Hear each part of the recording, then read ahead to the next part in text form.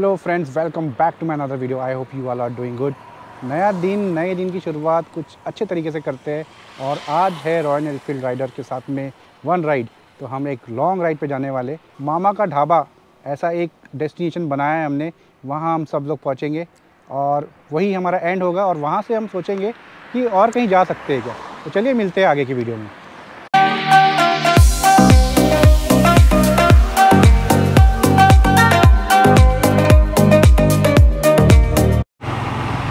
Friends तो अभी हम निकल चुके हैं घर से। अभी हम पहुँचने वाले हैं खामला स्क्वायर जहाँ पे कि पैरागन का शोरूम है और वहाँ पे मीटअप है।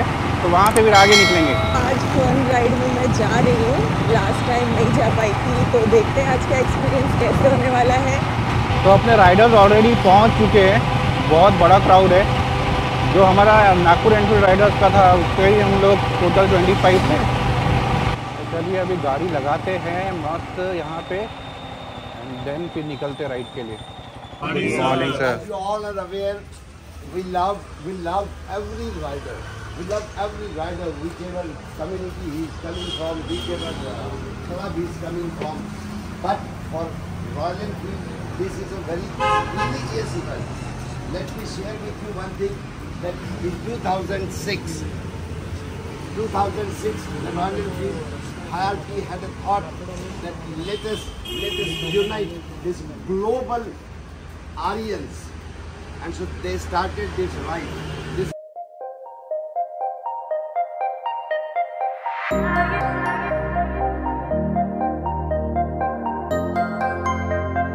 तो चलिए गए अभी हम निकल रहे हैं यहाँ से मामा का ढाबा हमारा डेस्टिनेशन है वहाँ तक पहुँचेंगे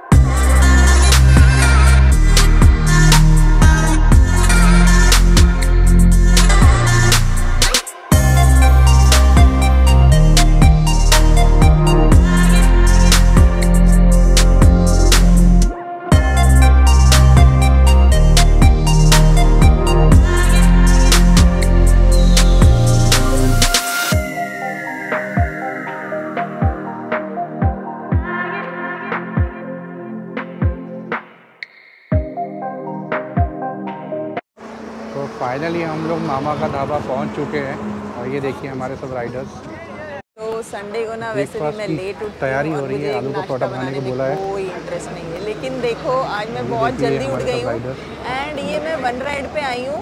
एंड यार क्या बाइक्स हैं एंड क्या मज़ा आया हमको बाइक चलाने में। चलिए मैं आपको एक एक करके बाइक दिखाती हूँ।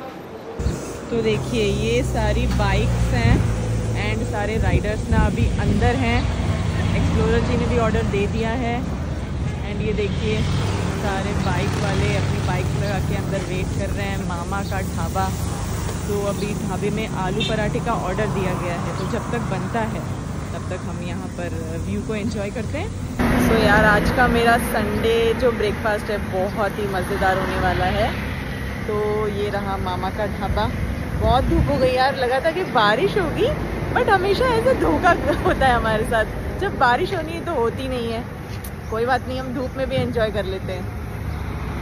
तो ये मामा का जो ढाबा है यहाँ पे जम के सबने ब्रेकफास्ट किया है। और अभी प्लान ये है कि अभी यहाँ से हम जाएँगे खिंसी यस वैसे तो ऐसा था कि यहाँ से रिटर्न जाना है नागपुर बट कुछ लोग बोलते हैं कि चलो आगे चलते हैं घूम के आते इतने दूर आ ही गए तो। तो अभी आगे मिलते हैं। हाँ जी आगे का व्यूज़ बहुत अच्छे आने वाले हैं सो स्टे ट्यून क्या सही व्यू है ना? हाँ। अभी बारिश हो गई ना तो झाड़ों में और ग्रीनरी आ गई है।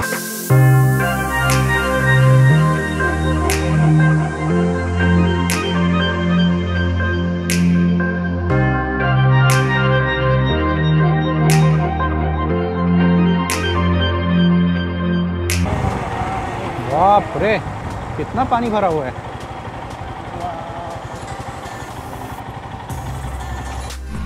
तो यार, नागपुर का तो ऐसा ही है। कभी धूप, कभी छाव, कभी बारिश, अभी कुछ देर पहले इतना अच्छा माहौल था। लगा था बारिश आएगी और अब देखो, इतनी तेज धूप है। तो अभी हम बैठे हैं खिंसी लेक के पास में, आपको दिखाते हैं।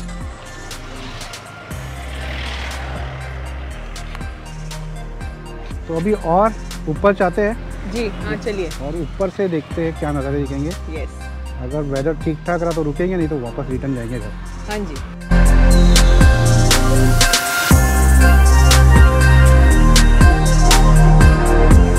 बहुत ही ग्रीन है एंड बारिश हो चुकी है। दो चार दिन से तो बहुत ही सुंदर लग रहा है। एंड शायद लग रहा है कि थोड़ी बहुत बारिश अभी भी होने वाली है।